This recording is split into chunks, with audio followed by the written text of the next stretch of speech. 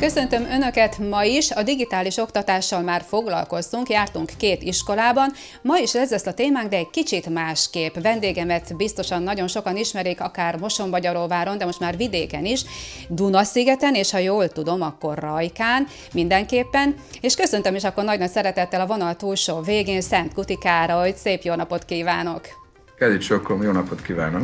Azért kerestem meg önt, mert tudtam, hogy ez a digitális oktatás nagy kihívás lesz iskoláknak, gyerekeknek, tanároknak, mindenkinek, és bennem felmerült, hogy vajon az a generáció, aki valóban nem a cyber generációhoz tartozik, hogyan birkózott meg ezzel a feladattal, önöknek mekkora kihívás volt ez, és hogyan sikerült aztán ez alatt a két-három hét alatt ezt az egészet összehozni, működtetni?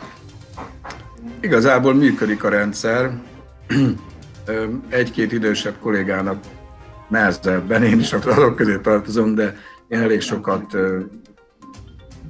vagyok laptop előtt, meg, meg használok PPT-ket, meg egyéb különböző formációkat, tehát tulajdonképpen úgy tűnik, hogy menni fog. Alsó tagozatban nem, tehát alsó tagozatban a Dunaszigeten behozzák a munkafizeteket, felső tagozatban már azért működik, ugye ott már a gyerekeknek azért nagyobb a, az informatikai képzettsége.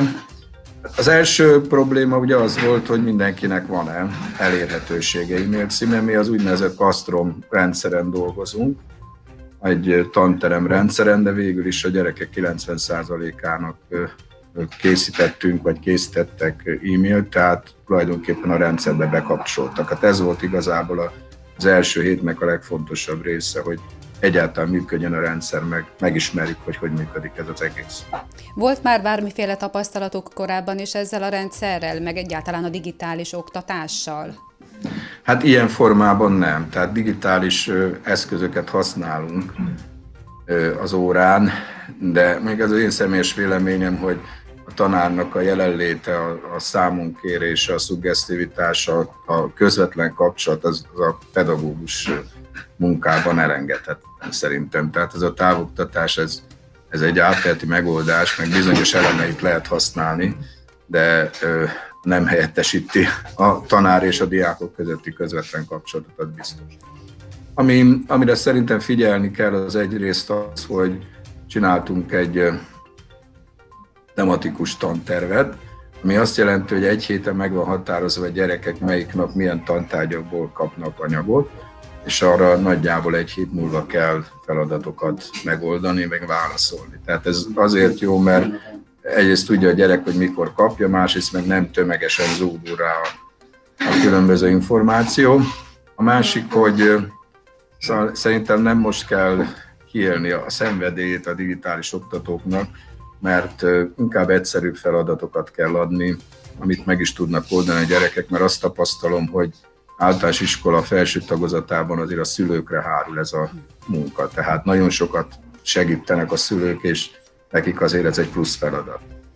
És hát a harmadik pedig azt gondolom az, hogy tananyagból ki lehet szedni azokat a legfontosabb elemeket, amelyeket most meg kell tanítani, aztán majd a vége lesz ennek a helyzetnek, akkor nyilván ezt pótolni lehet. Ugye említette a kicsiket is, hogy ott másképp működik a rendszer. Ott mhm. gyakorlatban hogyan valósul meg ez, hogyha nem tudják ennyire használni a számítógépet? Hát gyakorlatban úgy valósul meg, hogy vannak munkafizeteik, meg hát tankönyveik is, amelyeket hazavittek, és akkor hetente az iskolából külön-külön bejönnek, tehát a szülők külön-külön bejönnek meghatárt időpont között, és akkor elviszik a feladatokat, illetve visszahozzák a munkafizeteket, azok a tanítónők kiavítják, és utána kapnak újabb feladatokat. Hát azért képzelj el, hogy mondjuk egy elsősnél hogyan lehet megtanítani írni mondjuk digitálisan, hát egyszerűen nem lehet. Tehát azért van, vannak olyan, olyan szituációk, amiket nem lehet digitálisan megoldani. Ugye senki nem tudja, hogy erre milyen hosszú időre kell berendezkedni, és lehet, hogy akár az egész tanév lemegy így most. Hogyan tudják számon kérni az igazi tudást, valós képet fognak-e kapni, mondjuk egy bizonyítványosztás előtt a tudásról?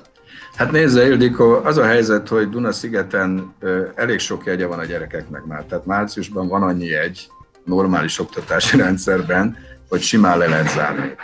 Most az nagyon meglepő lenne egy ideig kettes, hármas tanul egyből ilyen csillagos ötösöket írna, tehát ott valami nem stimmel. Nyilván ott a szülői segítség, vagy az egymással való kommunikációt veszik igénybe.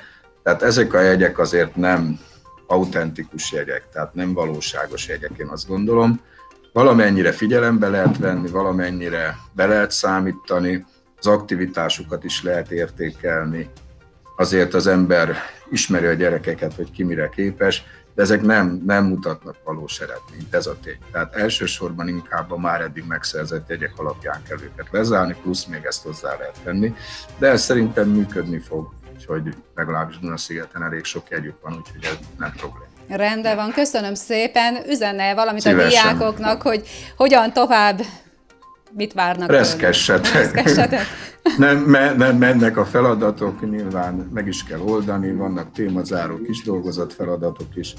Azért le kell őket kötni, mert különben meg az a tapasztalat, hogy egy idő után már megudják ám, tehát hiányzik nekik az iskolat. Az első egy-két nap nagyon jó, aztán utána ugye le kellene kötni őket valahogy.